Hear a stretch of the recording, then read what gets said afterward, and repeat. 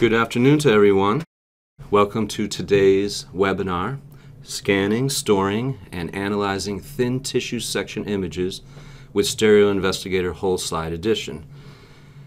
My name's Dan Peruzzi, and I'm joined today by my colleague Nate. Hey Dan, hey everybody. How are you doing today, Nate? Awesome, you? Good.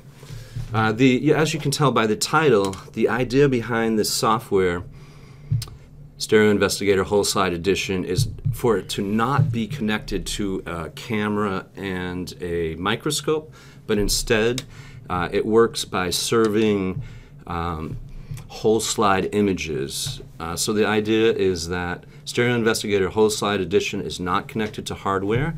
Instead, we are going to be doing the analysis on whole slide images. So why whole slide? Why use this process? Uh, one reason is that thin sections, and when I say thin sections, I mean a ballpark around five microns thick, are easier to process than thick sections, and by that I mean 30 or 40 micron sections. And uh, that is mostly due to the hist histology process, the sectioning, uh, getting your antibodies or whatever you're st staining with to penetrate. All is done easier with thin sections than thick sections. That's why the emphasis of this program is on uh, whole slide images of thin sections. Uh, the process starts with scanning. Uh, these whole slide images of thin sections can be scanned from scanners such as Bliss or Huron or with the slide scanning module from Stereo Investigator or Neurolucida. Large amounts of these whole slide images from thin sections can be stored using our program BioLucida and whole slide images are easily loaded into Stereo Investigator Whole Slide Edition for analysis. Today, Nate is going to be talking about how fast we can scan and uh, what large amounts of data we can store. And then I'm going to be giving examples of loading up these whole slide images from BioLucida. And these images are efficient for analysis on a three in a three-dimensional region. It's probably what most of you are interested in, a three-dimensional region that has been sectioned all the way through with thin sections. Uh, this process is also great for two-dimensional substrates such as blood smears or cultures or petri dishes. Cool. I'll turn it over to you, Nate. Thanks, Dan, for that overview of what we'll be covering today. Um, just a quick technical note, in the interface for GoToWebinar, you you should be able to see uh, downloadable handouts, and they contain a lot of the details of anything we gloss over. For instance, the experimental um, examples I'm going to show, uh, they're specified more fully in those handouts. So just... And all the references and the formulas for what I'm going to exactly. show will be in there also. So you can just grab those anytime that's convenient for you. So really, I want to talk about a little bit about what's what are some of the aspects of a whole slide imaging experimental workflow? What is important to get it to work? There are, are lots of advantages to these, these scanning devices that have come to be into the market over the past few years. I think one really important one is repeatability. So you can set up a protocol, save it, and scan repeatedly in the same manner um, across slides, across animals, across cohorts, even across different experimental settings. Um, it's something that wasn't always e easy to achieve on open microscope platforms where optics can change or be moved or, or sliders moved around. Um, so it's really it's it's good for repeatability these closed systems. The second thing I think as an advantage is archival. So um, your physical slides are actually turned into into whole slide images at high resolution. So you don't necessarily need to carry around precious glass that might get broke on subsequent imaging. Um, and I think it's also pretty important um, for fluorescence where the actual source material itself uh, can potentially have uh, a limited lifetime. Um, the one kind of neat thing that most of these systems feature, these workflows feature, is the ability to share slides and manage them and pipe them out to analysis platforms. And ours for that is BioLucida, and it works with almost all the major manufacturer slide scanners formats that are out there right now. Um, but what that lets you do, the, these server platforms, is they can act as a data hub where you can open up your data to the to the world if it's required for um, you know funding agencies or for even uh, journal articles if there's data sharing requirements. So those are some of the and you're going to see Dan actually access our BioLucida system throughout his you know getting the numbers.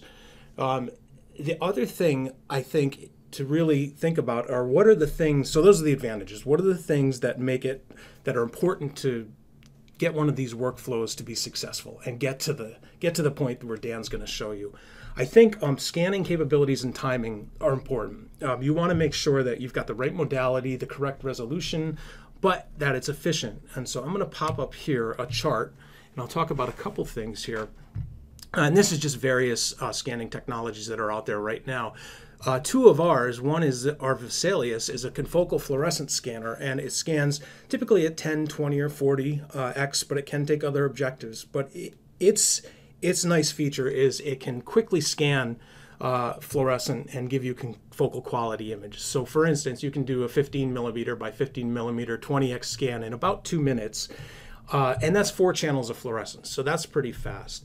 Um, the other thing that we're announcing pretty much right now is a, a partnership with Huron Technologies, um, and that's a fast bright field scanner that's for 20 or 40x.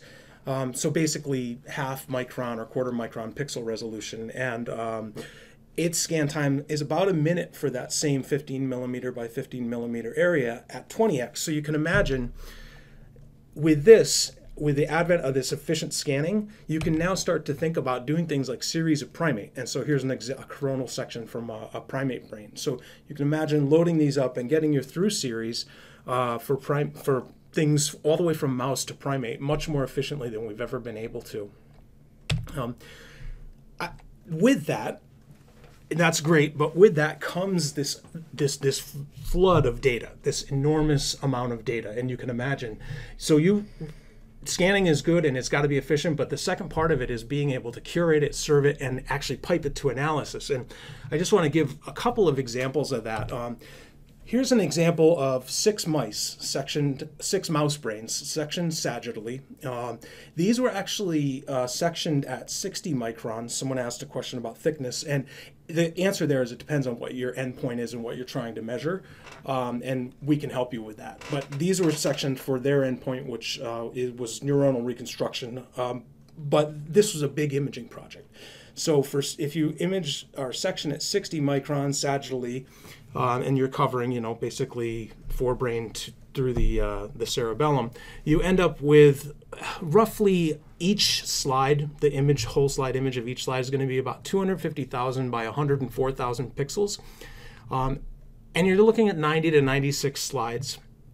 And so in total, you're probably between seven and seven and a half terabytes for these six animals, or 1.2 terabyte per brain imaged at 20x. And again, that's sectioned rather thickly, um, and it's six animals. So this would be one cohort, and it's mouse. So you can imagine as you move up to primate, you're moving from tens of terabytes for for for rodent all the way to probably petabytes uh, for for through series. You know, for big 3D regions of the brain, I think. Um, so this is specified. I, I, just want to say thank you to Dr. Hermina Nedelescu for um, for making this this photo available to us. It's a it's a nice example. This is again detailed in the in the handouts a little more. So so we've got all this big data, and BioLucida is the way that we pipe it uh, for viewing and analysis into our analysis platforms. Uh, but I want to go over another another example of um, some really a big collection of whole slide images, and that's um, from Dr. Chip Gerfen at the NIMH as his part of the GenSat Cre-brains project. Um, and that is um, hundreds, I think over 200 now, uh, mouse mouse brains that have inje- various uh, tracing injections in them. So each brain is comprised of roughly 100 to 120 serial sections. Um, and what they did was they took and used our technology to get whole slide images and then used our BrainMaker technology to automatically extract the serial sections and automatically align them into 3D compiled volumes. And then those volumes get put up on a BioLucida server that the world can view. And again, in the handouts, there's a t- 2013 uh, Neuron paper uh, referenced on this, this project. But what that does is you've got this massive amount of data up there that now people can peruse and at a glance really see, you know, where the injection site is and where where the, the trace goes. Um, so their endpoint for this was visualization. Um, and just some numbers on that, roughly um, for upwards of 200 brains, it's roughly about a terabyte right now. And the reason it's it's only a terabyte for that many brains is because we're using an efficient storage mechanism. We're using a JPEG 2000 compression. Um, and that does two things. One is it makes the amount of data manageable, but two, it's also web streamable. So it makes it so that these things can be served out to researchers in a reasonable, efficient way. Um, if you don't do that, we would be we're getting away with about 40 to 1 compression. So this collection would be 40 terabytes easily. So, you know, having um, having formats that are are amenable to streaming and, and efficient storage are important too. And we found for this data set and its signal to noise that 40 to 1 was where we could go without affecting any visual quality um, by eye. That was determined empirically. Um, so really we're using BioLucida for managing, and serving, and viewing and piping to analysis these large volumes of data that arise from whole, whole slide imaging.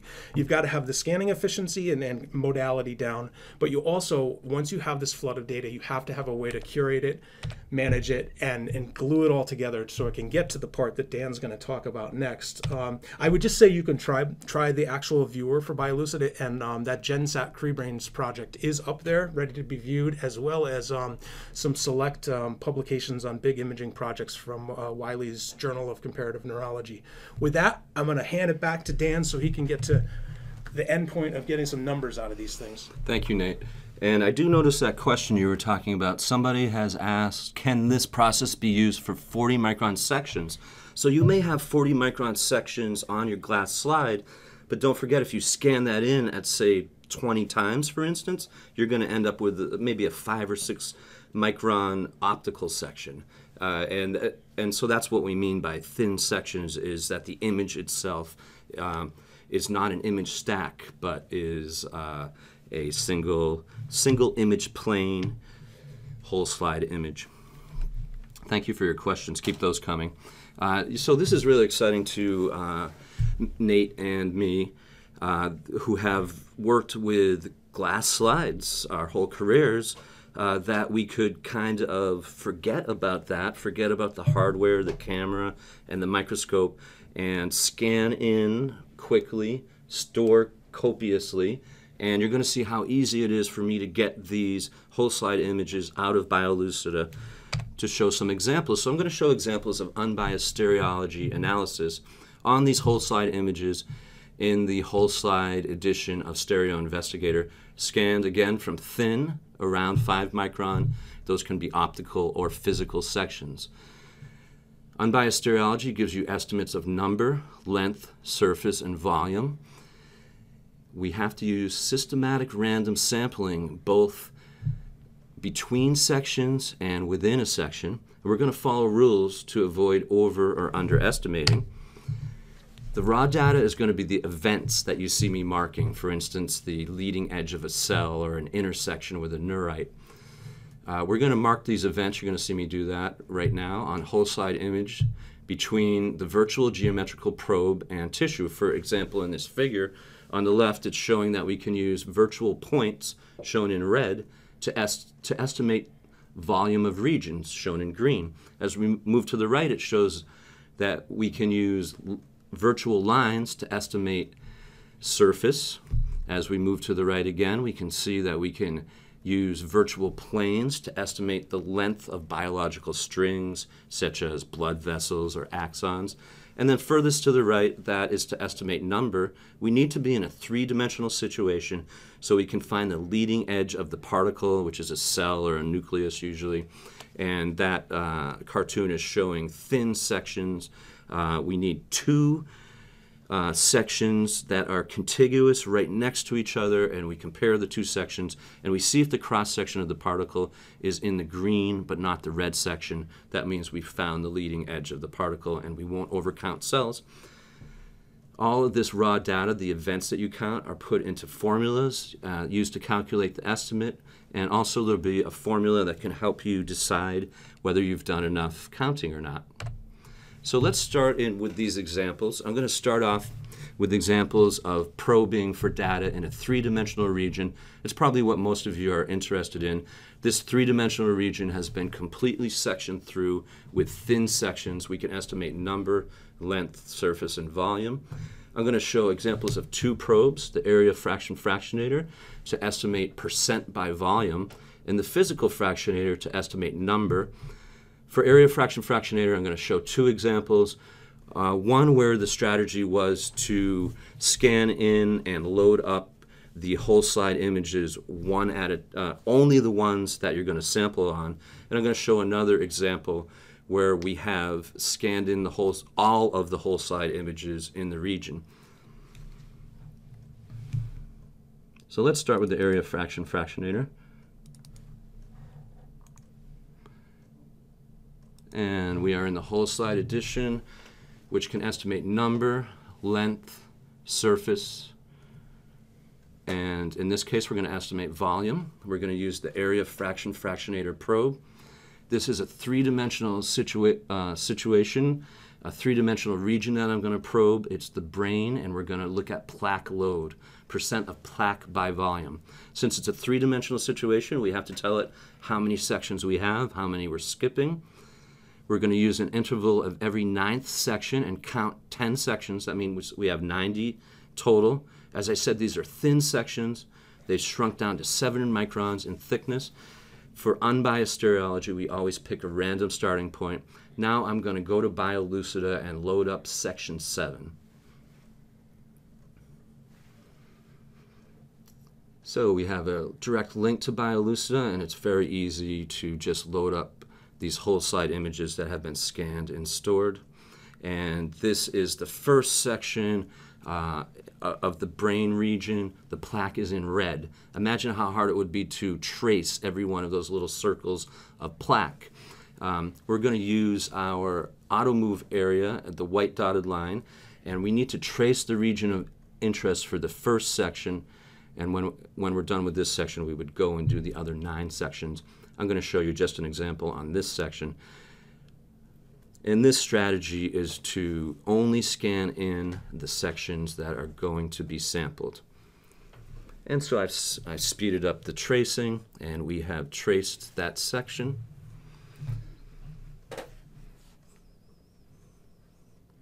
And now we go to probes, and we have to preview uh, the systematic random sampling. And I'm going to show three examples of a random throw that means you will not be able to control where your counting frames go down. The counting frames are where we're going to mark the plaque. And that ensures we're doing things in an unbiased way. That's right. You can't go to uh, regions that subconsciously you want to go right. to. We need to define the counting frame itself. That's where the points are going to show up. I have previously decided on 150 microns in the x-axis and 80 microns in the y-axis.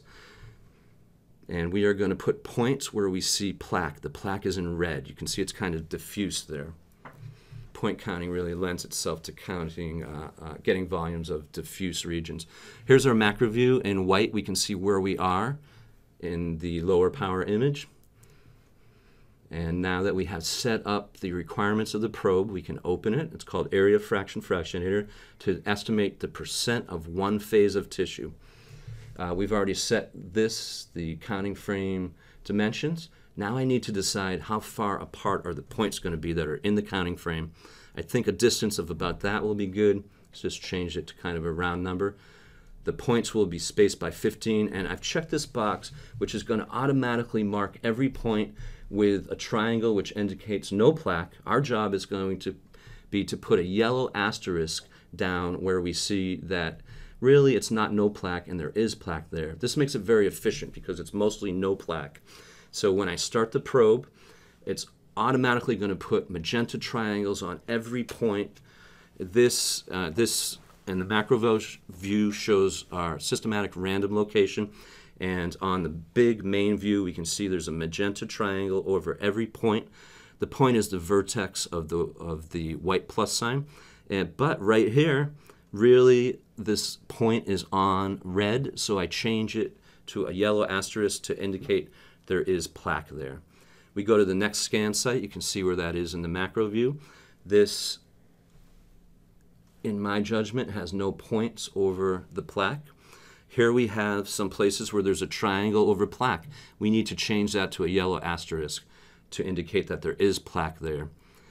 This program is going to take all the yellow asterisks and divide them by asterisks plus triangles. That's going to give us a ratio of volume to volume. Uh, we're going to be able to estimate the plaque load. And you can see how quickly this goes, especially when one phase is predominant over the other. Automatically paint in all of the no plaque markers and we simply need to go in there and see if any of the points, which again is the vertex of the white uh, plus sign, is over the plaque. And I actually may be using too many sites here. You may be able to get away with less and still get a good snapshot of what's going on. That's called uh, considering your precision. We can help you with those decisions too. Today I'm mostly concentrating on the rules to follow to avoid bias. And this is a really fast and easy probe. You see how fast we did one section. Couple that with being able to serve the uh, whole slide images directly and not to have to worry about any hardware or slides. And we have a really efficient process here. Uh, the estimate is that for plaque, it is 1.6% plaque. That's a volume to volume ratio, and subtract that from 100, and we get 98.4%. You would probably need to go ahead and do about maybe nine other sections, and you would end up with a very good estimate of plaque load. So you could easily get through an animal within an hour. And if you're not, um, there's probably something slowing you down that shouldn't be, so give us a call and we can help you out with that. Yeah. Uh, I'm going to show another example of area fraction fractionator. In this case, all of the sections were scanned on one whole slide, whole slide image. Again, we're in the whole slide edition of Stereo Investigator. We can estimate volume. We're going to use the area fraction fractionator. This time I'm not going to start out with the serial section manager because we have all of the sections on one whole slide image and we are going to actually be able to automatically trace all those sections to make this whole process even more efficient. So here we are in BioLucida, where the whole slide has been scanned. I have picked a random start point of three, the third section. I'm going to look at every fifth section. I predetermined the random start point of the third section. I'm going to look at every fifth section. We don't have to trace these all by hand. We have some filters here and sensitivity. Uh, for outline detected objects, I'm going to show the color and then just click outline objects and way faster than a human could do this. All of those regions are traced. I didn't bother tracing just the five sections I'm going to use because the process is so fast. Uh, let's zoom in and zoom out and we can see that it actually has done a good job tracing I am going to estimate the percent by volume of white matter. I'm only going to use the obvious commissures here so that I can give uh, uh, an easy example. Counting frame is 350 by 350. Next, we need to set the systematic random sampling, which means how often does the counting frame appear. And again, this is a random throw that you will not be able to control when you do the counting. Not only does every section have an equal chance of being used for sampling, but once you're on a section, every point on that section is equally likely to be sampled, and that's one way we stay away from bias. Okay, the area fraction fractionator probe is ready. We do want to use the serial section manager. There's a very nice feature of this. We just click this box here and it will take, it will recognize all of those tracings, put them all into the serial section manager. The evaluation interval is one, and these are thin sections, and you always pick a random starting section to avoid bias. Okay, so now I think we are ready to open the probe. Area fraction fractionator, we set the size of the counting frame, we set the spacing among the counting frames. These are the five sections I'm going to do. And again, at each site, we're going to automatically fill in a magenta triangle. This time it means gray matter. And our job will be to change any magenta triangles to yellow asterisks, which indicates white matter. And I am going to be very rudimentary in my choice of white matter. I'm just going to use these obvious commissures here. Okay, so here we are at the first random systematic location. I'm using my mouse wheel to make a, a paintbrush uh, the size I want. And now it's just very easy to change from a triangle to an asterisk where I see that it's actually over white matter. not gray matter. If you make a mistake, uh, you can use your middle button, or I'll just show you that I'm picking gray matter here, and it's easy to change back to the actual marker that's supposed to be there. Next scan site, you're to the next systematic random location, and it's quite easy to paint these markers. There's also a shortcut that you can use your F2 key, uh, so you don't have to click twice to get to the next scan site. And in my judgment, I'm not going to put any white matter uh, marked here. Of course, you'd be using your own judgment, your own regions, and your own uh, different types of tissues. Uh, let's go ahead. I'm going to show you how the next one is picked. So I just did the third section. Now I'm doing the eighth section. Everything stays the same. And I'll just show you two examples here. Same thing. This just shows how easy this is. Uh, you should be able to get through uh, one animal like like Nate mentioned before in, in about an hour. I'm going to skip ahead to the last section. Just uh, to save time. Uh, same type of thing. We are putting points over one phase of the tissue, in this case white matter, and another type of marker over the other type of tissue. In this case, it'll take the number of yellow asterisks and divide it by the number of asterisks plus triangles. And that's quite efficient because all the sections are there.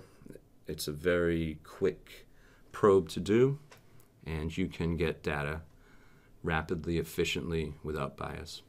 So let's go ahead and take a look at what we've done, the third, the eighth, etc. We've done every fifth section. The, uh, so, the formula will actually uh, extrapolate for the fifth, five sections that we've skipped.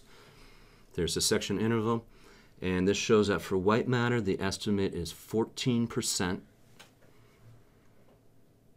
And that makes sense on a gut level. We marked a, a lot less white matter commissures than we did gray matter. The gray matter is 86%. We're also seeing a CE down at the bottom. And the CE for the gray matter is below 0.1. The CE for the white matter is above 0.1. 0.1 is the traditional breaking point. Um, so what this is telling us is that for gray matter, we have done enough sampling, but for white matter, we need to get in there and take more, uh, use more sections. And that makes sense because the variance of the yellow asterisk is more than the variance of the magenta triangles. And that's what the coefficient of error is an indicator of. Right? It does. It gauges the number of points from section to section. If there's little variance, it goes low. Uh, in other words, the, the cross sections are more similar from section to section for the gray matter than for the white matter. Got it. So those are examples of uh, pro uh, of estimating percent by volume. Let's take a look at the physical fractionator, which is going to estimate number of cells. We're going to use two contiguous thin sections. We're in Stereo Investigator Whole Slide Edition. We can estimate volume, surface, length. In this case, we're going to estimate number. We're going to use a probe called the physical fractionator workflow to estimate cell number on adjacent thin tissue pairs. These tissue pairs are taken every 750 microns and they are 5 microns thick. And again, they've been scanned in using a scanner like, like Bliss or Huron. This shows that two uh, pairs of sections being stored. I'm only going to show this on one pair of sections. So we go to number, we go to physical fractionator, we start a new subject. We have a workflow for this with steps 1 through 11. For each step, it tells you what to do below so you don't have to be searching through the menus. These pairs of sections are three quarters of a millimeter apart and they're five microns thick. We're going to compare the reference to the lookup. And if we see the cross section of the cell nuclei and the reference but not the lookup, it means that we have found the leading edge of the cell nucleus. So that's the reference image. This is cardiac tissue. I'm going to be estimating the number of cardiac muscle fiber nuclei. These are round nuclei that we see in the middle of the cross section through the muscle fiber. We're going to be looking at the round nuclei, not at the flat fibroblast nuclei.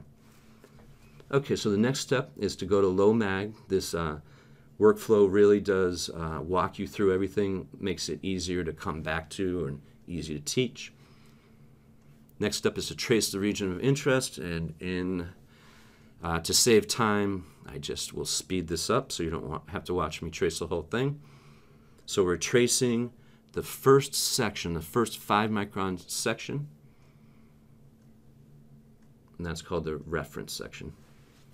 So we go to high mag, and notice on the right we can see round nuclei that are in the middle of the cross section of the cardiac fibers, and we see flat nuclei. We're going to be estimating the number of round nuclei. They're easy to spot. They're right in the middle of that pink cross section. Uh, the counting frame, uh, we uh, set that up to a good size, and now we're setting up the systematic random sampling, the spacing among the counting frames.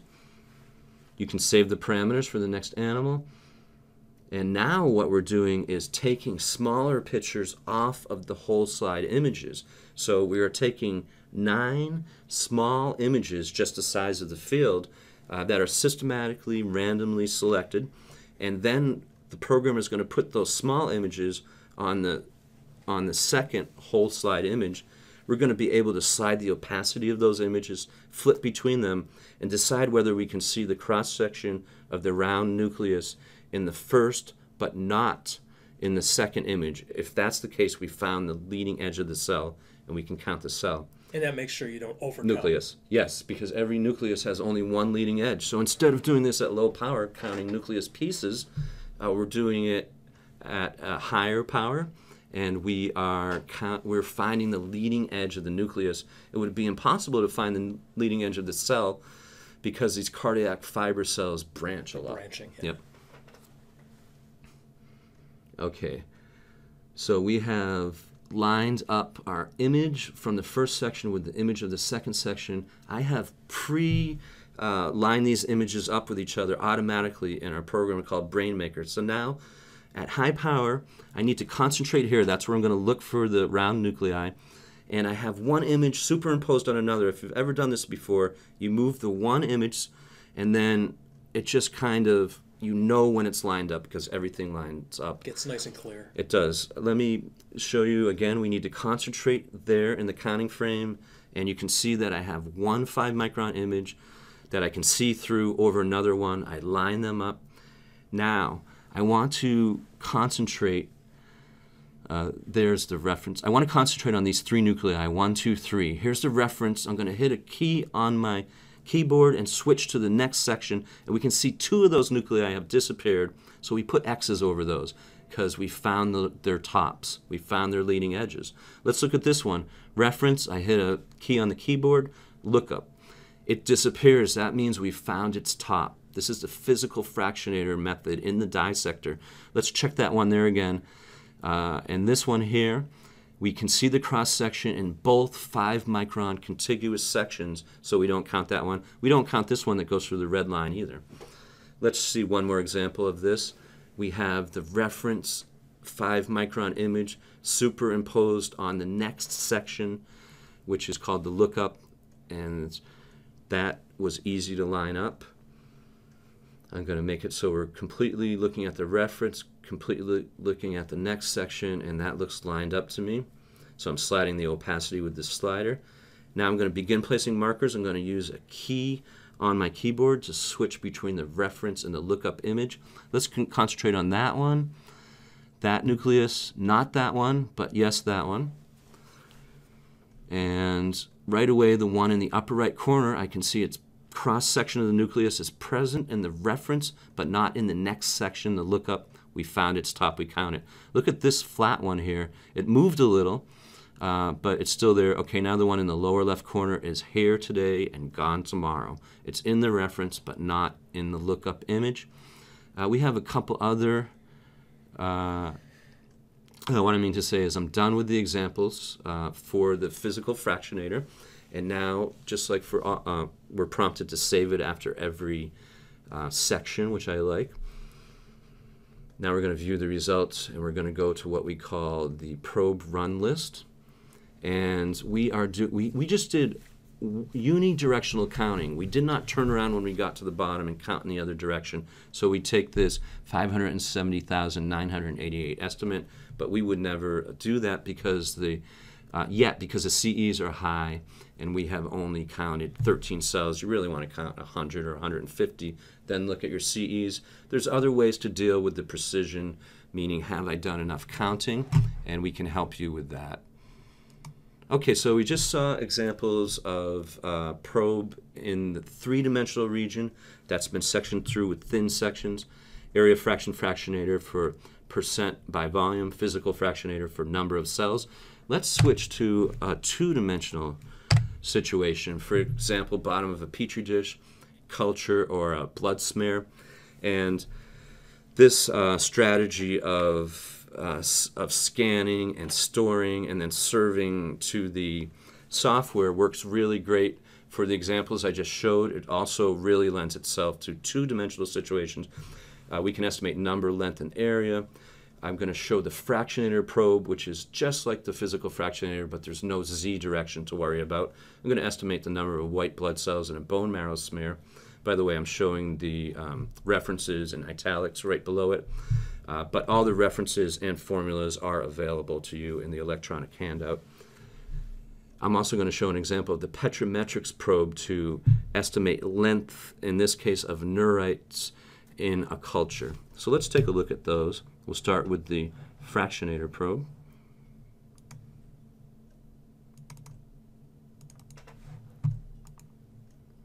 Whole slide edition of Stereo Investigator number fractionator probe to estimate cell number in a monolayer like a petri dish.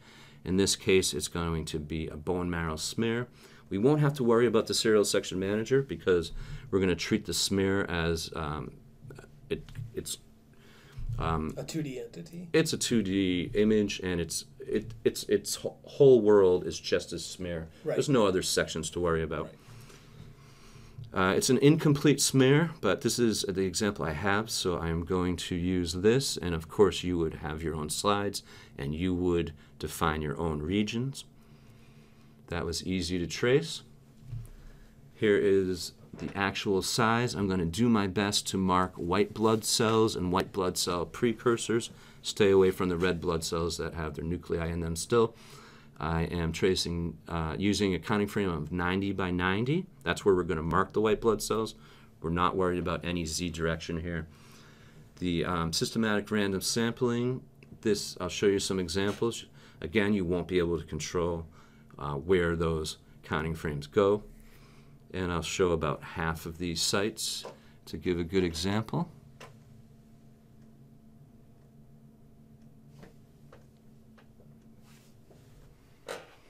Okay, the macro view shows us where we are. We're going to turn on the fractionator probe.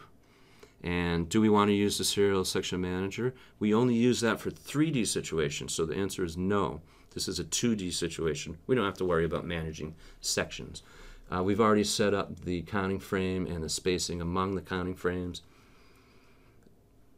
It tells me to select a marker. I have one over there called white blood cells. That's our first systematic random location in the macro view.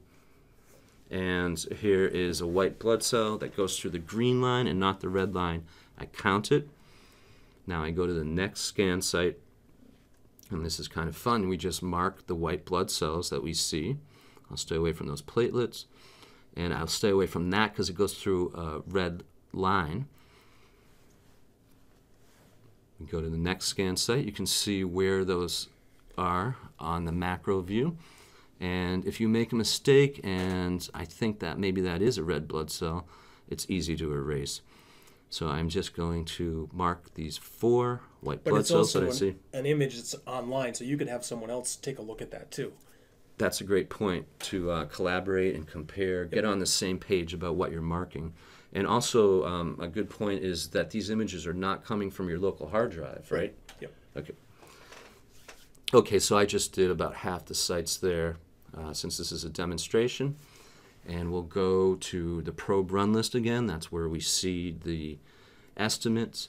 and it's we've counted 19 markers. It's estimating there is 7,179 white blood cells in that whole region that I defined, but the CEs are high. That's telling you you need to get back in there and uh, do some more counting frames. Yep. Then, when it sees uh, that the variance is at an acceptable level, the CE will go lower. Right.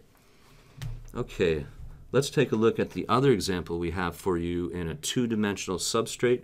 In this case, we are looking at a culture of neurites, and we're going to estimate the length of the neurites. And again, we can estimate number, surface, or volume, but in this case, we're going to estimate length. And the probe is called Petrimetrics because it can be used in a petri dish. In this case, we're going to use it on a 2D culture. It could uh, also be used in a smear, although that, that's probably more, you would be estimating numbers in a smear. Okay, so again, we're going to BioLucida. This was scanned in, was stored in BioLucida. It's a very simple image of a culture, fluorescent uh, imaging. So the first thing to do is to trace the region of interest. Again, we don't need to worry about different sections because this is a 2D situation, it's a culture. You can imagine how long it would take to trace all of these dendrites, all of these neurites. Instead of doing that, we're going to use unbiased stereology. The probe is going to be a line, and we're going to mark where the line intersects the neurite. So let's look at its actual size, and I'm going to zoom in. It's okay to zoom past the actual size if you can do a better job with the probe, as long as things don't get too pixelated. I'm actually going to zoom in a little more. I think I can get away with it. And as long as I can see the neurite, and I'm going to be able to tell whether a line goes through there that the program generates. So I'm going to use this zoom level. We're going to turn on the Petrimetrics probe. And that's good that we're not using the serial section manager. And this is um, parameters we've already set up. And here, our job is to where we see a green line going through a neurite to put a marker on it. Nothing happening there. Click F2 or go to the next scan site. And that's one of the tenets of unbiased stereology is to make the event that you mark very obvious we saw examples of marking the tops of cells or finding the top of cells, um, marking points for volume. Here we're marking intersections for length, and it's very easy um, to see where these intersections are.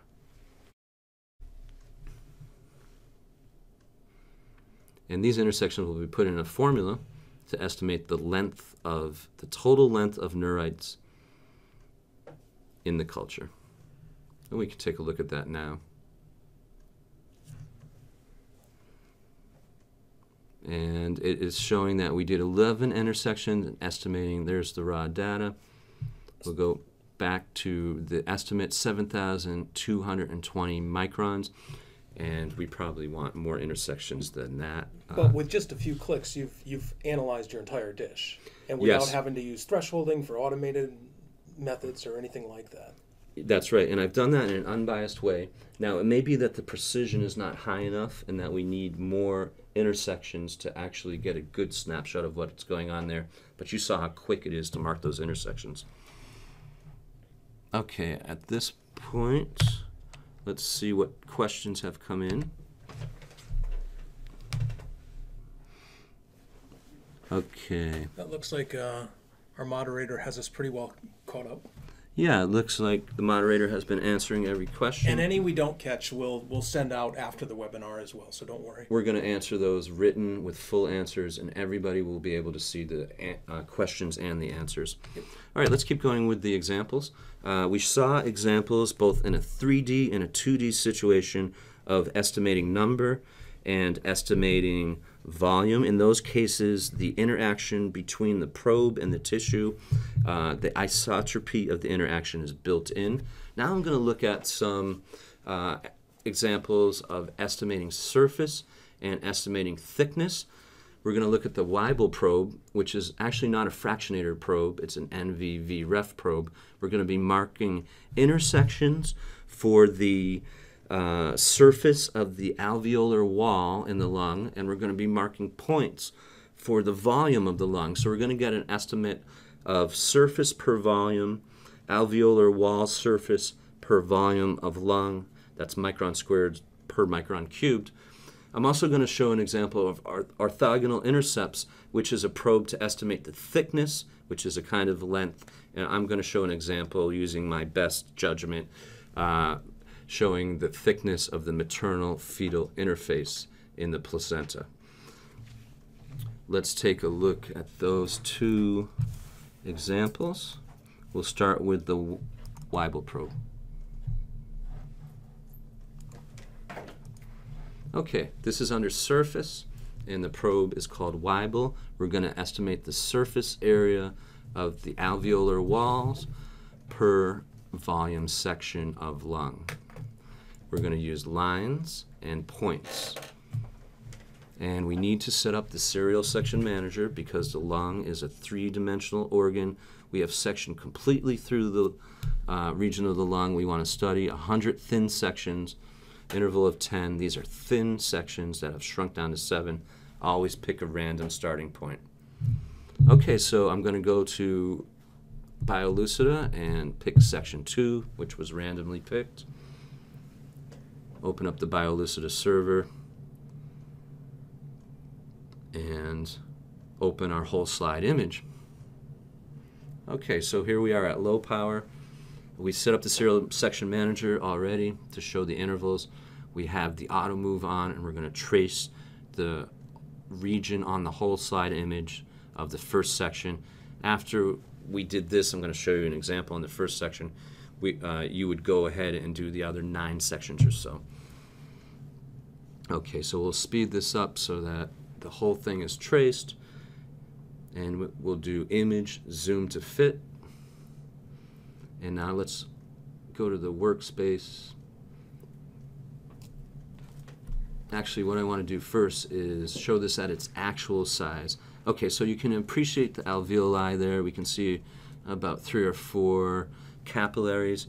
I am going to estimate the surface of the alveolar walls per volume of lung. The probe is called the Weibel probe. And the length of the lines I'm going to use to probe with, line segments, are 150 microns. So we can see blue lines. That's going to probe for the intersection. In the macro view, that shows where we are but I want to get to a predetermined systematic random location. And you, so you can see me going through the macro view. Yeah, you can't just pick the region you want to go to. It has to be predetermined systematically and randomly. Okay, so we have the lines to mark the intersections on the walls of the alveoli and the points to mark the volume of the lung. Our job is to, wherever there is a point over lung, we mark it. So actually all of the points in this field of view are over lung, so I can use a marquee with my control key and quickly mark all of those points. That's for the volume. And then every place I see the line going through the wall of the alveoli, I mark it. And I'm interested in the surface on both sides of the wall, so I uh, mark both sides of the alveolar wall. These intersections for surface and points for volume will be used in a formula to estimate surface per volume. And there you can see I've just sped it up and marked a lot of intersections. Now let's go to the next systematic random location. As you can see on the macro view, move the same number of, of uh, fields of view. So this is that's a systematic part. The random part was the random start. And again, if a point is over the lung, it gets marked. I'll show you one more example of that. If an intersection, if a line goes through the alveolar wall, we mark it. Let me actually zoom in on this. So uh, I want to make sure you can see it as well as I can. And notice that I put two triangles down because the line went through that wall twice. You don't have to mark them in exactly the right place. It's using the number of intersections and the number of points. So I'm going to stop the probe here. You would go to about 10 fields and do about 10 sections. and then see if that was enough by looking at your CEs or some other method. I'm going to view the results though. Is the raw data 28 points, 95 intersections. It's put into a formula to get 0.09 square microns of alveolar wall per cubic microns of lung. I haven't been showing you these formulas, but I'll show you this one. I want to show you how easy it is to uh, open the formula part of the program and now you'll actually see what's being done with these intersections and points that you marked. Surface per volume equals twice the number of intersections. It makes sense intersections would be in the numerator. And it's L over 2, L is the length of lines, times the number of points. We use L over 2 because we have two points per line. So that's a uh, quick way to uh, get a surface per volume estimate. Dan, I think we have a couple of questions here. Oh, uh, good. One looks like um, is Petrimetrics the equivalent to Spaceballs for thin samples? Yes, it is. Excellent. Good question. Uh, you would not be doing Spaceballs uh, with this incarnation of our program. It's whole slide for thin sections. Spaceballs needs thick sections, but that is uh, good insight. Petrimetrics is the 2D version for estimating length of Spaceballs. And a similar question is fractionator the equivalent of optical fractionator for thin sections? Uh, yes, and it's also, well, uh, let me see, no. Um, optical fractionator is used on thick sections, image stacks, or thick sections about 40 microns thick. Physical fractionator is used on two contiguous uh, thin sections. So that's still a three dimensional situation, but you are um, probing up and down uh, kind of in a digital rather than an analog way. You're using these thin sections to look at, as, as I showed an example of, uh, rather than focusing up and down through the thick section, which I mentioned the thick sections are harder to get histologically than the thin sections. And then the third one is the fractionator, and that's for a 2D region. That's where you really have a 2D entity that you're trying to quantify. That's right. So optical and physical are both for 3D, two different methods. The one that's relevant for um, whole slide is physical fractionator. We'll write that up and make it available too. Uh, thanks for pointing out those questions. Yep.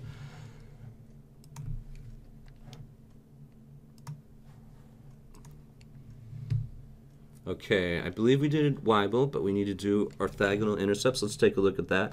In this case, I'm going to be looking at the placenta of pregnancy and estimating the width of the maternal fetal uh, membrane where the diffusion from maternal blood to fetal blood and back has to happen. I'm actually going to be um, using line segments to to estimate the width, and this is a 3D uh, situation. So of course I need to set up the serial section manager. We have 80 sections total and these have shrunk down to six microns. Again, we don't want to be biased, so we pick a random starting point.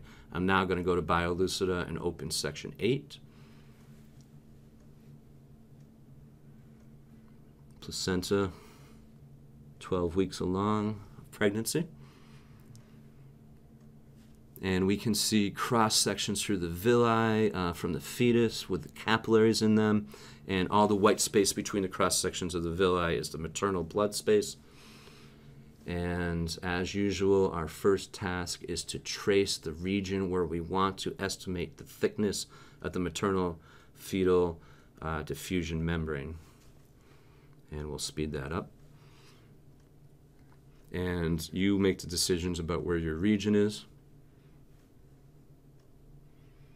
Let's look at the actual size. by going to actual size. And let's get away from this uh, region where we don't see a lot of cross sections of villi. And now I want to zoom in uh, to the level at which I'm going to mark the width from the maternal blood space to a capillary in the cross section of the villi.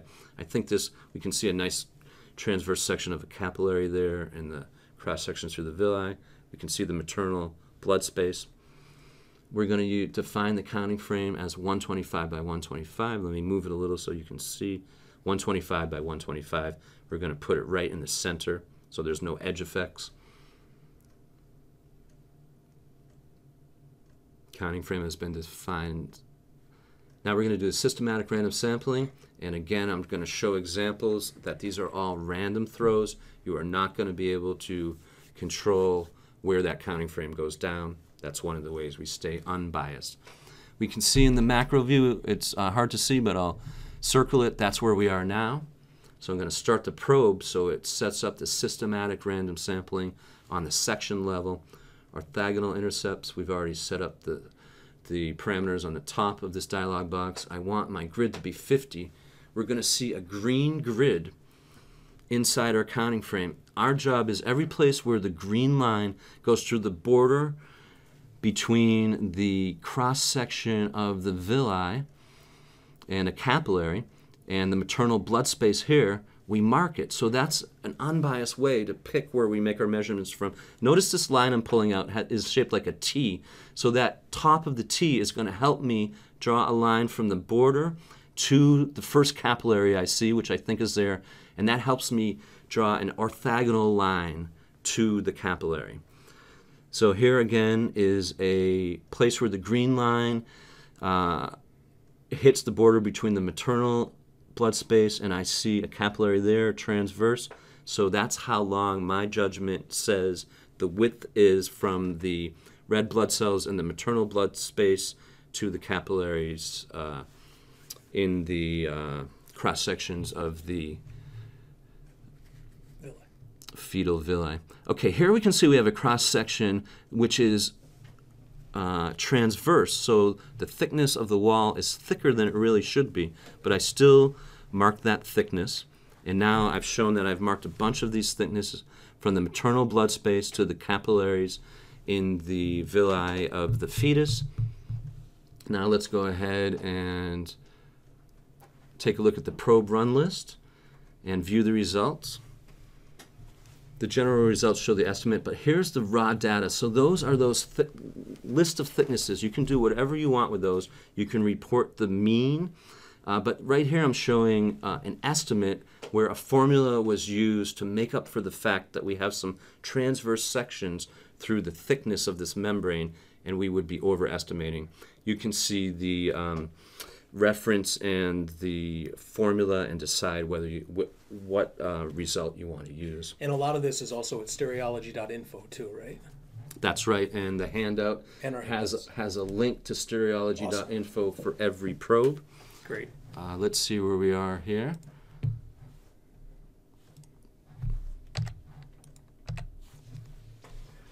Um, Okay. nope, I think we've, we're caught up on most things here. Okay, good. I must be being clear. Either that or everyone is completely confused.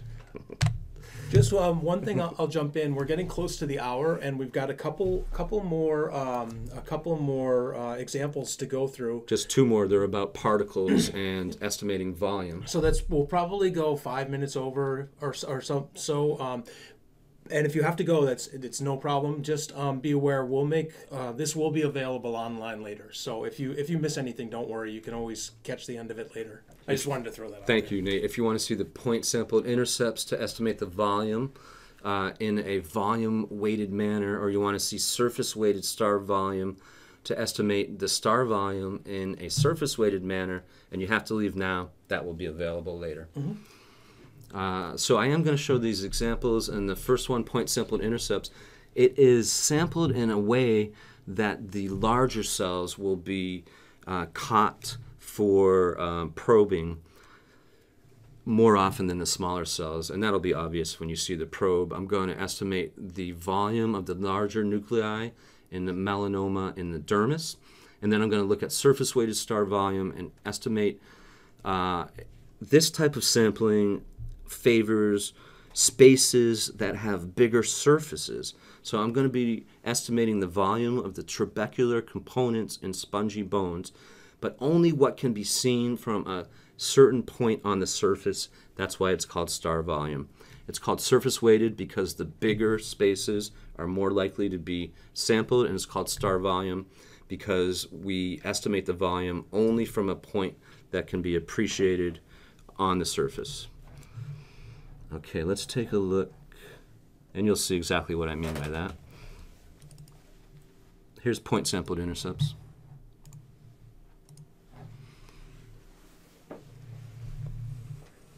Point sampled intercepts is under the volume region. And we're going to do the sampling in such a way that larger nuclei are more likely to be sampled than smaller nuclei. It's still unbiased, but we do know that it's volume weighted. And this is a three-dimensional region. We need to set up the serial section, 100 sections total, skipping every tenth. They've shrunk down to 5 microns, and again, we stay unbiased by picking a random starting point. Let's go to Biolucida and get section 4.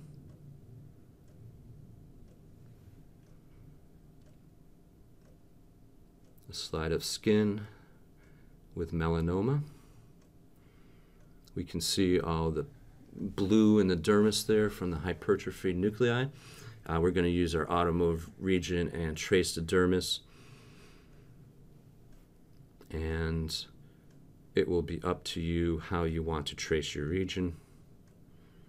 And once again, I'm going to speed this up in the interest of time. Okay, so we have the first whole slide image region traced. And of course, you'd be doing probably about nine others after this. Let's go to the actual size. Turn on the macro view. That shows where we are on the bird's eye view.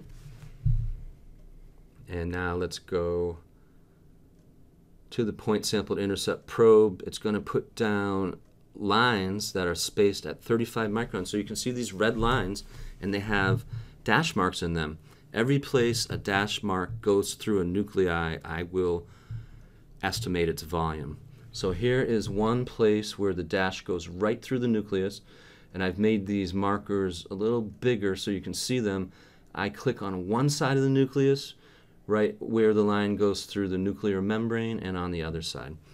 Now I scan through all of these marks, looking for where one of these dashes goes through a nucleus. Here is another place where that happens. So I click on the little mark, the vertex, and then I show it. What I'm doing is defining, defining a random chord through the nucleus. That data is going to be used to get a volume estimate. Bigger nuclei are more likely to be caught than smaller nuclei, so it's a volume weighted estimate. Let me zoom in on this just in case you can't see it as well as I can right in front of the screen.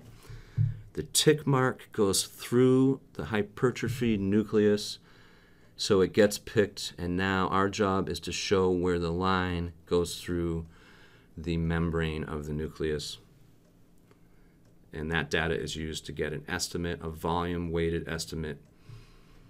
Uh, people who study melanoma are more interested in the larger nuclei anyway, so it makes sense to get a volume weighted estimate. We turn off the probe, go to the probe run list, look at the results and we can see the mean volume. We can also see volumes for each nuclei that was estimated. Cool. Much quicker than trying to um, focus through the nucleus and trace it at every level. Right, right. All right, let's take a look at our last example, surface weighted star volume. This is the Stereo Investigator whole slide edition. We're going to go to surface weighted star volume to estimate complex, non-convex volumes and isotropic sections. In this case, I'm going to estimate the volume of trabecular compartments in spongy bone. It's surface weighted because compartments that are larger, that have larger surfaces, are more likely to be sampled. We have 110 thin sections in total. We're skipping every 11th section. 6 microns thick, random start, section 6. Let's go to BioLucida and open section 6.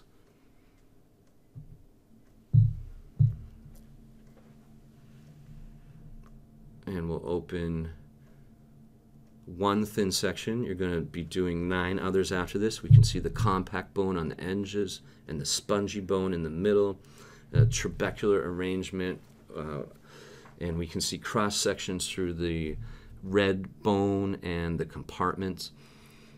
I've already set up Serial Section Manager, so now it's time to trace the region.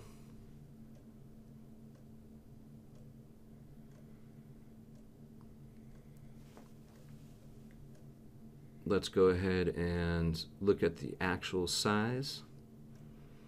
And we can see the red bone, that's the walls of the compartment. It has little osteocytes in it. and we can also see the compartments which are filled with blood cells. We're, uh, the macro view shows us where we are.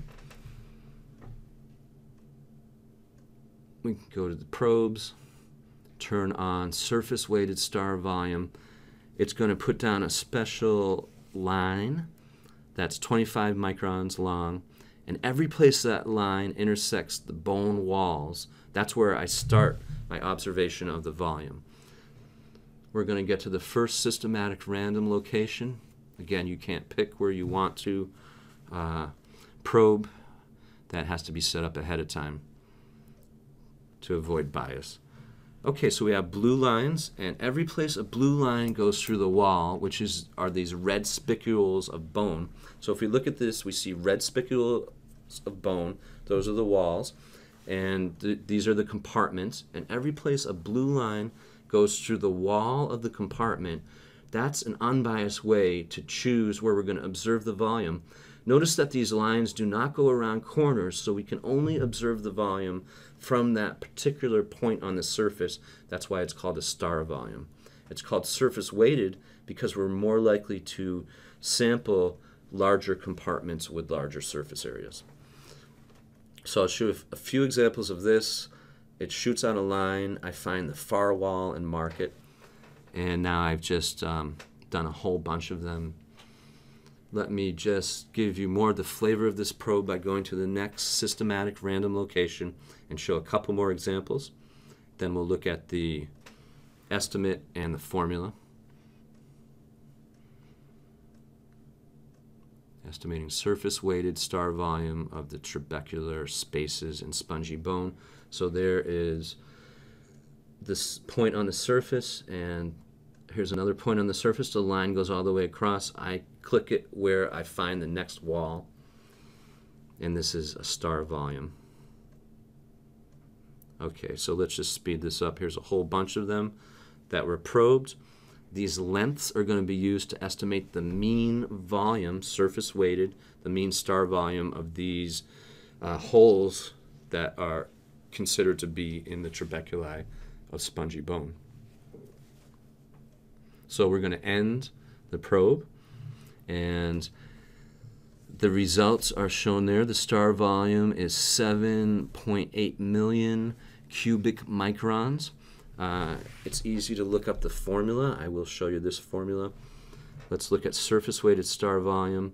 And the raw data that went into there is the L bar, and the estimate is two thirds pi L bar cubed, uh, mean the, the mean length of those uh, uh, line segments that we generated is the raw data. So you're really able to uncover uh, an aspect of the tissue with some simple operations, a relatively complex aspect of the tissue with. Yeah, we can think of how uh, we might have done that by tracing. We would have had to have many cross sections right. through one space and trace it all and this is just much more efficient. Right. And when you add together the scanning and the storing, uh, and then how easy the slides are, I hope we showed that you can get efficient and unbiased estimates very quickly using uh, this Stereo Investigator whole slide edition. Yeah, that's very cool. Uh, thanks everybody for attending. It's been really fun.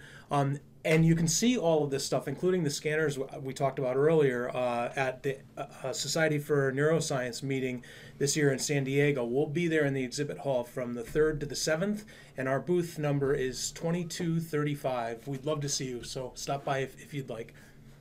Anything else, Dan? Thank you very much for your attention. Awesome. Have a great day, everyone.